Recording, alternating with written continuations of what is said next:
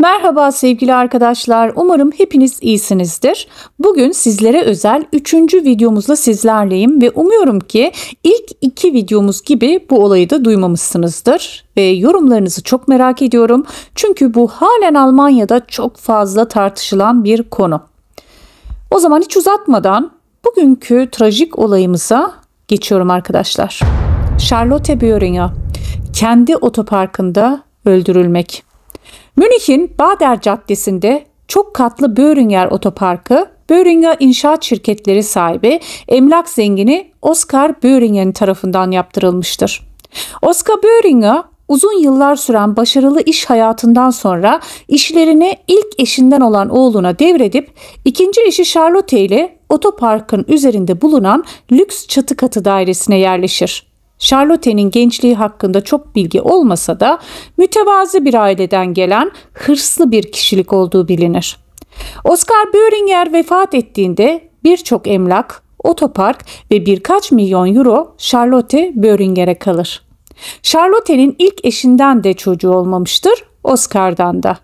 Kız kardeşi ve ailesi Charlotte için çok önemlidir ve tüm mal varlığını ileride iki yeğeni Mate ve Benedict'e bırakacaktır. Ama o zamana kadar küçük yeğeni Benedikt hukuk okumalı ve şirketlerin başına geçmelidir. Zaten hukuk fakültesini bitiremeyecek olursa mirastan da men edilecektir Benedikt. Gerçi Charlotte biraz keyfine göre vasiyetini değiştirebilen de biridir. Bu yüzden evinde sonrasında eski tarihte birçok vasiyet bulunur.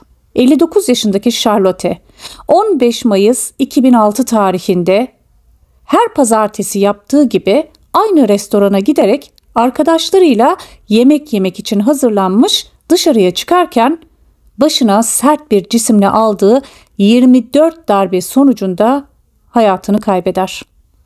Olay yeri inceleme ekibi etrafa sıçrayan kanları görünce bu darbelerin şiddeti karşısında dehşete düşerler. Çok fazla nefretle işlenmiş bir cinayettir bu. Adli tıp uzmanlarına göre Charlotte'nin çekiçle bu darbeleri almış olma ihtimali çok yüksektir. Ama cinayet silahı bugüne dek bulunamamıştır. Adli tıpçılar Charlotte'nin 18-15 ile 19 saatleri arasında öldürüldüğünü tahmin ederler. Kesin olan tek şey failin bu cinayeti öfke içinde nefretle işlemiş olduğudur. Eve zorla girilmemiş, hiçbir değerli eşya böylesi bir evden çalınmamıştır. Soruşturma ekibi cinayetten bir gün sonra yeğen Benedikt'in nişanlısına nişanlısının böyle bir suç işleyebileceğini inanıp inanmadığını sorar. Genç kadın şaşkınlık içinde buna ihtimal vermediğini söyler. Charlotte Böhringer'in eski çalışanları dahil olmak üzere kendisinin aşırı kontrolcü, baskıcı bir kişiliğinin olduğunu, sert bir iş kadını olduğunu, ama aynı zamanda mükemmel bir ev sahibesi olup misafirlerini en iyi şekilde ağırlamasıyla meşhur olduğunu, adeta çift karakterli olduğunu söylerler. Charlotte kolay bir kadın değildir ve ondan nefret eden birçok kişi vardır. Hatta birinci ve ikinci eşinin çok güçlü karakterler olduğunu ve kendisini zor kontrol altında tutabildiklerini, eşinin ölümüyle gerçek tavrını herkesin gördüğünü anlatırlar. Polis ilk andan itibaren emindir. Cinayeti ona en yakın kişi olan 32 yaşındaki en sevdiği maddi olarak teyzesine bağımlı Benedikt işlemiştir. Sanat tarihi okumak isteyen ama teyzesinin kendisini mirastan reddetmemesi için hukuk okuyan Benedikt sorgu için tutuklanır. Benedikt ilk andan itibaren bugüne kadar olayla ilgisini reddeder. Olay günü hasta olduğu için yatakta yatıyordur ama buna şahitlik edebilecek kimse yoktur. Olay yeri incelemesinde failin sağ elini kullandığı tespit edilir ancak Benedik solaktır. Ancak bir nöroloğun raporuna göre solak olmasına rağmen sağ elini de kullanabilecek kapasitededir Benedikt. Vasiyetin bulunduğu zarfta ve Charlotte'nin üzerindeki cekette Benedikt'in DNA'sı bulunur. Maalesef bu DNA'ların hangi tarihten itibaren bulunduğu tespit edilemez. Çünkü Benedikt teyzesiyle sık sık zaman geçiren ve üniversite yanında harçlarını kazanmak için otoparkta çalışan biridir. Yani bunların tümünde DNA'sının olması normaldir aslında. Savunma avukatı Benedict'in DNA'sının teyzesinin diğer kıyafetleri üzerinde bulunduğunu ispatlar. Savunma avukatına göre bu DNA'lar Benedict'in suçlu olduğunu ispatlamıyordur. Ama Benedict'in cüzdanında 2 adet 500 euro bulunur ve bu 500 euroların üzerinde hem Charlotte'nin DNA'sı hem de kan izleri vardır. Ancak ilginç olan bu kan izlerinin kime ait olduğunun tespit edilememesidir. Charlotte Böringer'in evine her gün 3 gazete giriyordur. Biri ulusal, ikisi ise sadece o bölgede satılan gazetelerdir.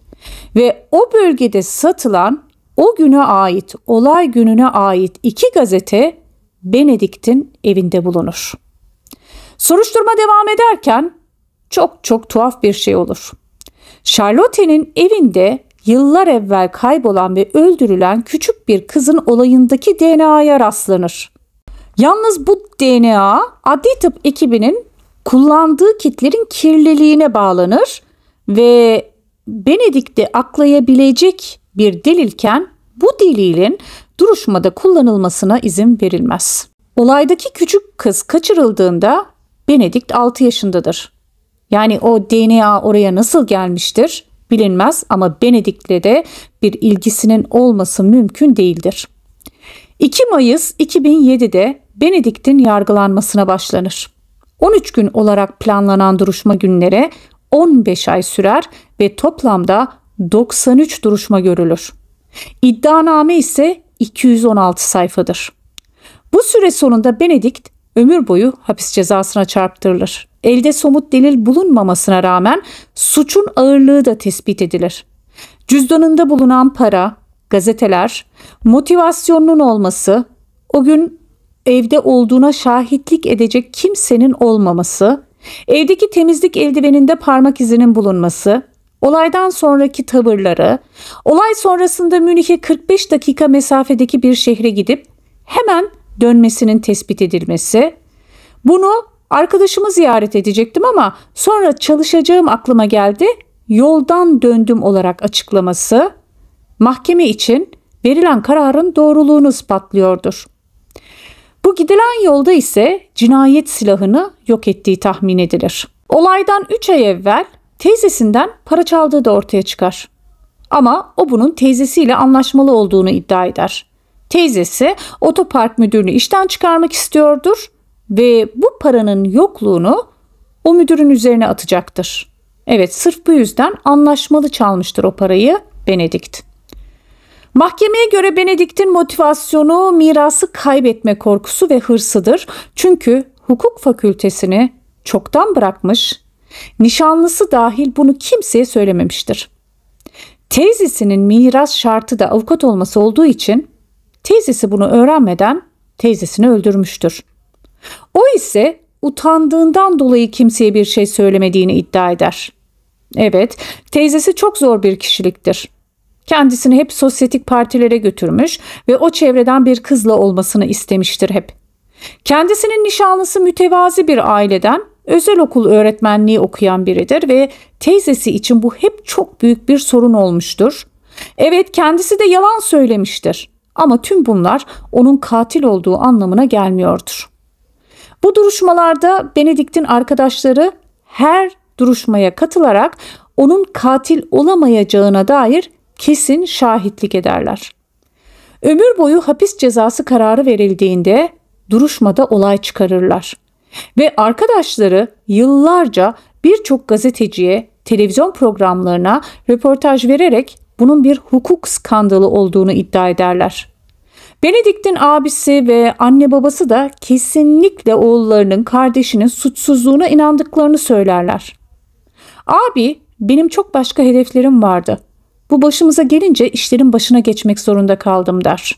Ve ilk iş olarak Benedik'te kalan miras abinin üzerine devredilir yoksa o pay devlete kalacaktır. Benedikt'in savunma avukatı sağ el üzerinde durunca Benedikt'in sağ elini kullanmak zorunda kalmasının teyzesinin kapısının sola açılmasıyla ilgili olduğu söylenir. Temize gidilir.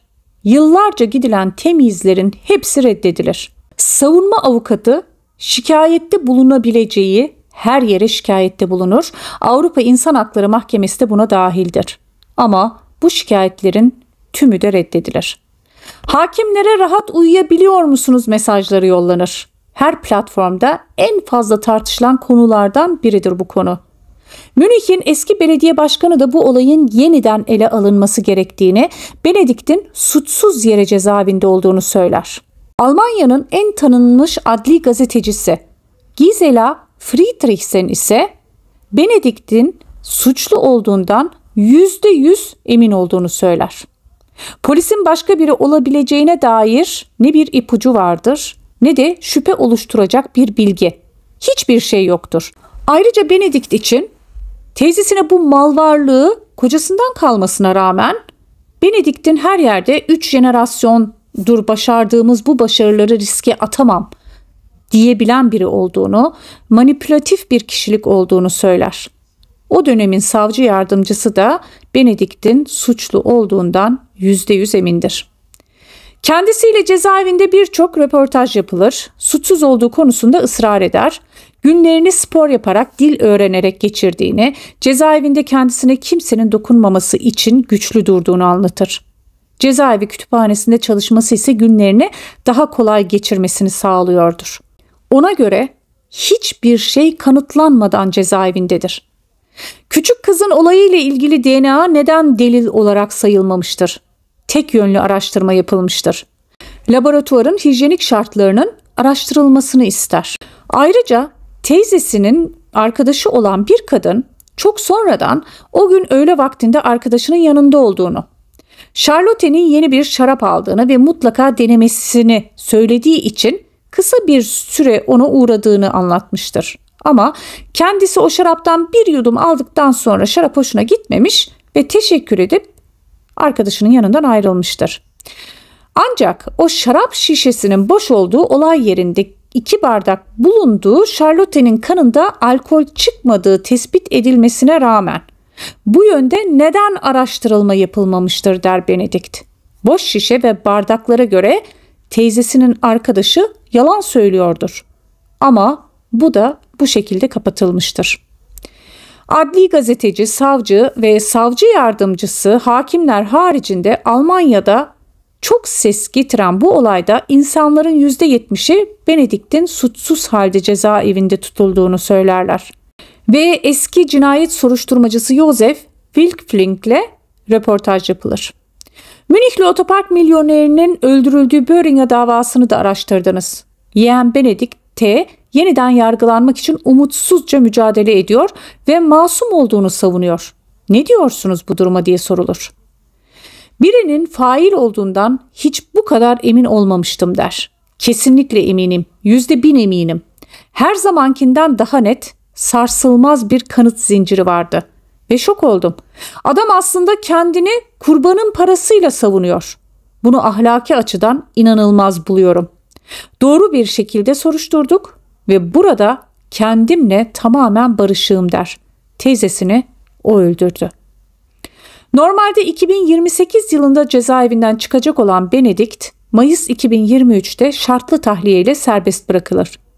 Birçok gazeteci ve kanal oradadır ve Benedikt olay bitmedi. Asıl olay şimdi başlıyor der. Suçsuz olduğumu mutlaka ispatlayacağım. Ne diyorsunuz? Sizce de Benedikt suçsuz mu?